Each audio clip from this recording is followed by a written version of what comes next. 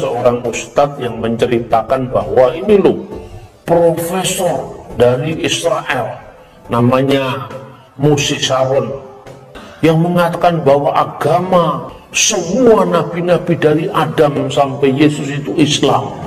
Saya cari sumbernya itu kan ketemu.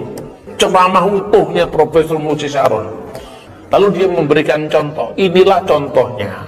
Islamisasi sejarah yang bertujuan untuk Islamisasi wilayah. Itu intinya kira-kira. Nabi-nabi itu dianggap Islam. Daud agamanya Islam. Salomo agamanya Islam. Itu sudut pandang seorang profesor Yahudi. Bukan berarti semua nabi-nabi itu agamanya Islam. Agama-agama itu tidak pernah lahir di ruang hampa Pasti agama-agama itu kan dicatat oleh sejarah. Dr. Bambang Nursena bongkar kebohongan seorang ustadz yang mengutip opini Profesor Moses Saron secara salah.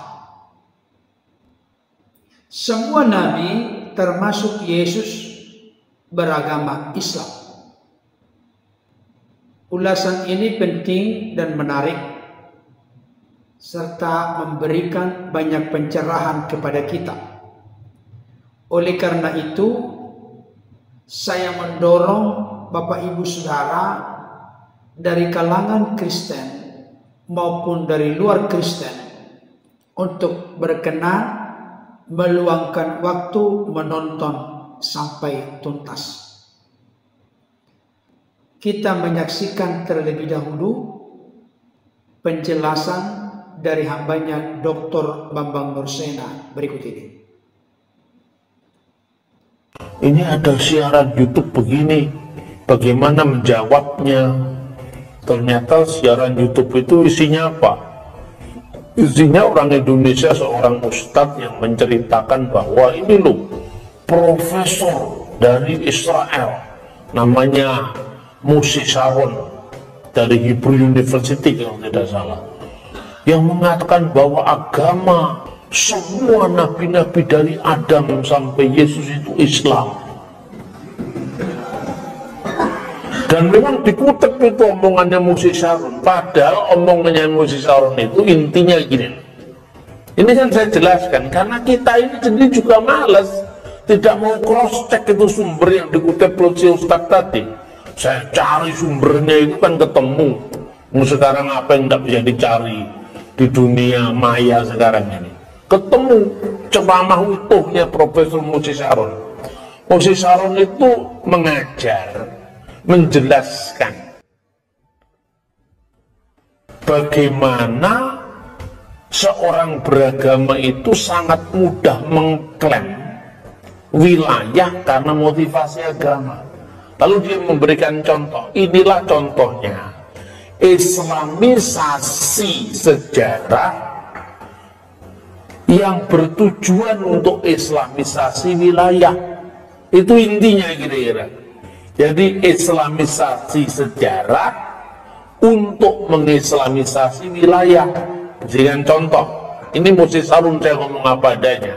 Misalnya, Nabi-Nabi itu dianggap Islam. Maka kemudian Daud agamanya Islam. Salomo agamanya Islam. Lah Salomo kan punya bait suci yang mendirikan bait suci kan Salomo bait suci yang pertama itu.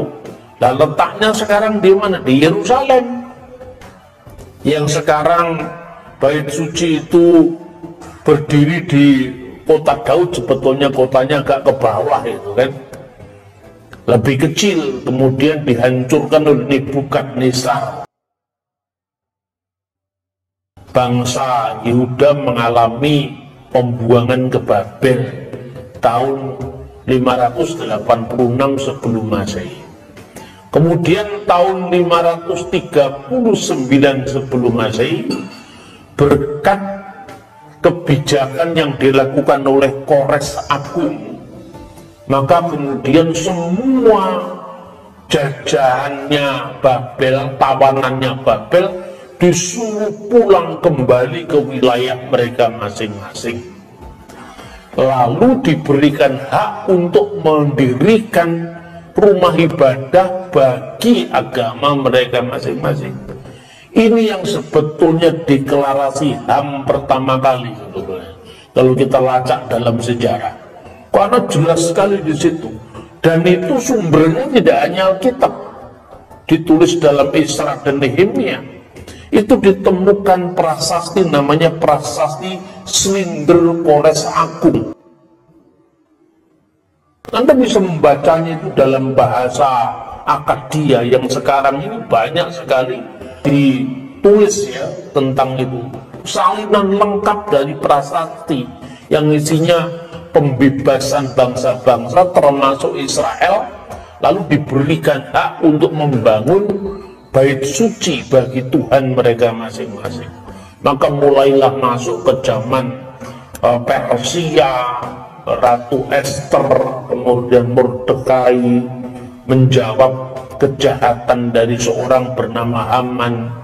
Lalu setelah itu dibangunlah bait suci yang kedua zaman Israel ketika bangsa Israel kemudian kembali dijajah oleh Roma Herodes Agung memperluas bait suci itu kira-kira tahun 37 sebelum Masehi itu kan mulai Romawi menguasai Israel. Lalu dibawalah bait suci yang sekarang dikenal dengan bait Allah yang kedua yang sekarang tinggal uh, tembok barat orang Yahudi menyebutkan Hakotel Arifi orang Arab menyebutkan Haitun al-Mubaka ya tembok ratapan nah itu kan berarti pemegang hak pertama kali yang membangun itu siapa? Salomo. Salomo itu kan Nabi Sulaiman alaihi salam. Nah berarti kalau Salomo sama dengan Nabi Sulaiman dan Nabi Sulaiman agamanya sudah Islam, berarti asetnya itu aset Islam. Kira-kira seperti itu. Itu sudut pandang seorang profesor Yahudi, bukan berarti semua nabi-nabi itu agamanya Islam gitu. Lucu sekali sebetulnya kalau dilihat. Tapi itu sudah bersorak-sorai mendengar apa YouTube semacam itu. Lalu saya kasih pelurusan lewat YouTube tidak begitu maksudnya. Nah saya gregetan lagi. Kok ya kebacut lagi katanya orang Jawa. Terus semua tokoh dari abad-abad sebelum masa agamanya Islam itu ketemu pirang perkoro itu. Bingung saya. Lalu saya tunjukkan bagaimana menjelaskan orang yang sudah menjadi abu agama ini apa namanya korban dari fanatisme agama saya jelaskan ini ya. Karena agama-agama itu tidak pernah lahir di ruang hampa. Pasti agama-agama itu kan dicatat oleh sejarah. Jadi misalnya Kristiani agama Kristen. Misalnya disebut-sebut dalam tulisan sejarawan Yunani seorang satiris Yunani misalnya atau disebutkan dalam tulisan seorang senator Roma sekaligus sejarawan Roma yang namanya misalnya Cornelius Tacitus yang menyebut orang-orang Kristiani pengikut Yesus yang disebut Kristus. Ada lagi sebutan Nosrim, Nasrani, yang artinya pengikut Yesus orang Nazaret. Disebutkan dalam Alkitab kisah Rasul pasal 24 ayat 5, tapi juga disebutkan dalam dokumen Yahudi yang namanya Birkat Aminim. Kan ada semua istilah Kristianos, Kristiani, Nosrim di luar kitab suci maksud saya. Sebab kalau kita mengatakan, oh ini Kristen agama yang paling benar, dasarnya dari Alkitab. Lah itu kan Alkitabnya orang Kristen. Orang Hindu kan tidak percaya Alkitab Dan kita kan tidak bisa memaksakan kitab suci kita itu untuk agama lain. Begitu juga adalah hak setiap orang muslim untuk mengatakan inna dinna indalahil islam sesungguhnya agama di sisi Allah itu adalah agama Islam. Lu silakan. Tapi ketika anda mengatakan bahwa semua nabi agamanya Islam prasastinya mana? Yang di luar Quran itu mana yang menyebut ada agama Ibrahim agamanya Islam? Ditemukan prasasti dari zaman Ibrahim misalnya apa prasasti Nusi atau undang-undang Lipit Istar itu kan sejaman dengan Abraham tidak ada satupun agama yang namanya Islam itu cara berpikir historis Sebab orang kesen cara pikirnya, cara pikir pokoknya Alkitab. Lah ya pokoknya Alkitab itu kan pokoknya. Kuwi kan kowe sing percaya, sing liya kan ora percaya. Itu kan hanya kamu yang percaya, orang lain kan nggak percaya itu lah. Begitu juga Anda boleh seribu kali mengatakan bahwa agama saya itu yang diridhoi Tuhan silakan tapi itu kan klaim sepihak. Bukti historisnya mana gitu loh. Nah itu kira-kira pentingnya memahami tantangan kita di masyarakat majemuk Baik Bapak Ibu Saudara, tadi kita sudah menyimak, mendengarkan dan menyaksikan penjelasan yang begitu lugas tuntas dan tegas dari hambanya Dr. Bambang Nursena. Beliau menyampaikan sebuah informasi penting di mana ada seorang warga negara Indonesia.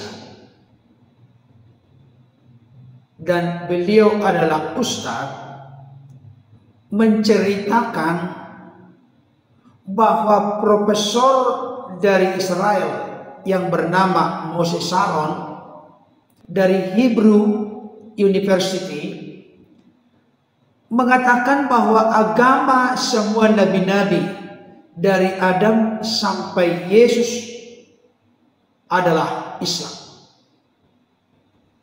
Sang Ustadz ini dengan percaya diri menyampaikan opini, pemikiran dan pendapatnya ke publik karena sudah mendapatkan referensi dari seorang profesor Israel yang bernama Moses Sharon. Tetapi yang anehnya Bapak Ibu Saudara ketika informasi itu sampai kepada hambanya Dr. Bambang Rosena Beliau pun tidak menelan bulat-bulat apa yang beliau saksikan dan dengarkan dari sang ustadz tersebut. Beliau tidak langsung percaya atau puas dengan penjelasan dari sang ustadz. Itu sebabnya beliau menjauhkan dari dirinya satu sikap malas tidak mau cross check dari sumber mana atau di mana sumbernya pemikiran, opini atau pendapat yang dikutip oleh sang ustadz itu. Dr. Bambang Nursena berupaya untuk mencari sumbernya.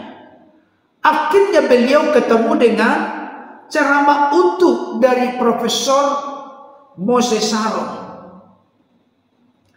Dari situlah akhirnya terbongkar dan terbuka kepada siapa pun yang menyaksikan dan mendengarkan ulasan dari hambanya Dr. Bambang Nursena ini bahwa konklusi kesimpulan yang diambil oleh sang ustaz tersebut justru keliru, salah, menyimpang dari apa yang dimaksud oleh Profesor Mose Sharon. Profesor Mose Sharon ternyata ingin menjelaskan bagaimana seseorang beragama itu sangat mudah mengklaim wilayah karena motivasi agama. Masih pemikiran yang dikutip oleh hambanya Dr. Bambang Norsena. Seringkali yang muncul islamisasi sejarah pada akhirnya bertujuan untuk islamisasi wilayah. Itulah intisari dari penjelasan Profesor Moses Sharon.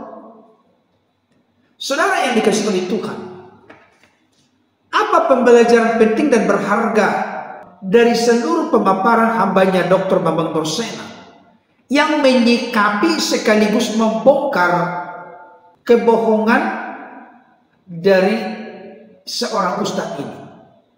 Yang pertama, kita tidak boleh sembarangan mengutip opini, pemikiran, pendapat orang. Apalagi dengan maksud dan tujuan memutarbalikkan intisari atau inti pokok pikiran utama yang disampaikan oleh orang yang dikutip pemikirannya tersebut. Itulah yang dilakukan oleh Ustadz ini. Beliau mengutip dari apa yang menjadi pemikiran dan pendapat dari Profesor Moses Saron. Tetapi intisarinya justru diputar balikkan. Tidak sesuai dengan pemikiran yang sebenarnya. Saya mau kasih tahu dan ingatkan kita semua. Banyak polemikus Islam atau Muslim yang mengutip-ngutip ayat-ayat Alkitab tetapi tidak memperhatikan konteks keseluruhan dari ayat yang dikutip tersebut kelihatan benar sebagai contoh ada polemikus Islam yang mengutip ayat-ayat Alkitab terkait dengan Yesus itu utusan Allah atau diutus oleh Allah atau Bapa yang mengutusnya. Ayat-ayat itu terus dicari-cari terkait dengan utusan-utusan-utusan. Maka nanti kesimpulan yang ingin ditandaskan oleh polemikus tersebut, Yesus itu hanya utusan. Padahal ada banyak fakta-fakta Alkitab yang menunjukkan bahwa Yesus itu bukan hanya utusan. Yesus memang utusan, tapi bukan hanya utusan Yesus itu anak Allah, anak manusia, Tuhan, firman, Alfa dan Omega, dan lain sebagainya. Jadi harus hati-hati dalam konteks ini. Ada banyak orang yang bertempik sorak dan bersuka cita. Bangga dan senang dengan pemikiran sang ustadz ini yang telah disampaikan ke publik. Wow, ada profesor Israel bernama Moses Haron ternyata mengakui bahwa nabi-nabi itu dari sejak Adam sampai Yesus semuanya beragama Islam. Tapi tidak memperhatikan secara teliti sebenarnya apa yang dimaksud oleh Profesor Moses Haron yang menjadi inti utama dari pemikirannya. Yang kedua, saya sangat diberkati dengan pernyataan sekaligus penegasan dari Dr. Bambang Nursena. Beliau berkata begini, agama-agama itu tidak pernah lahir di ruang hampa. Pasti dicatat oleh sejarah. Saya sependapat sekaligus saya juga sangat setuju ketika mau membuktikan kebenaran sebuah agama itu sangat terkait erat dengan fakta-fakta sejarah, fakta-fakta historis. Dan Dr. Bambang Nursena mengambil sebuah konklusi kesimpulan. Klaim bahwa semua nabi agamanya Islam itu tidak benar.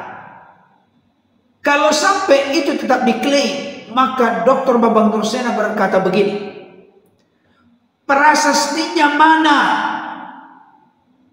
Ada nggak jejak sejarah yang terlihat bahwa sebelum Nabi Muhammad muncul di abad ke-6 ke-7 Masehi, adakah jejak sejarah atau berupa prasasti yang membuktikan bahwa nabi-nabi perjanjian lama itu beragama Islam? Dr. Bambang Dorsena menyimpulkan tidak pernah ada seperti itu. Yang berikutnya, saya sangat sependapat dan diberkati memang itulah yang menjadi keunggulan dan kehebatan Dr. Babang Borsena. Kita harus belajar cara berpikir historis. Jadi jangan sampai hanya klaim menurut iman kami begini. Tetapi bagaimana terkait dengan kesejarahannya atau historisitasnya? Saudara yang dikasih oleh Tuhan. Saya sebagai orang Kristen sangat bangga menjadi orang Kristen. Kenapa? Karena sejarah yang penuh bukti berkorelasi dengan iman yang penuh bakti. Ini merupakan moto dari Dr. Bambang Borsena. Kiranya ulasan ini dapat memberi inspirasi kepada kita bahwa konklusi kesimpulan semua nabi termasuk Yesus beragama Islam tidak pernah tercatat dalam sejarah termasuk tidak pernah ditemukan prasasti yang meneguhkan dan meyakinkan pernyataan tersebut. Tuhan Yesus berkati. Amin.